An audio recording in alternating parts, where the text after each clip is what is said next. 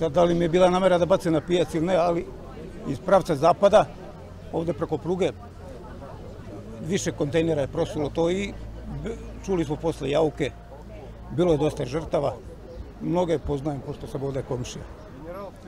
Poruka koju danas šaljemo, kao i prethodnih godina, u protekle 23 godine, je poruka mira. Ne smemo da zaboravimo, možemo da oprostimo. 16 nevinih žrtava je na današnji dan stradalo u gradu Nišu od kasetnih bombi, na desetine njih je ranjeno i sa trajnim ožiljcima koje su ostavile posledice NATO bombardovanja.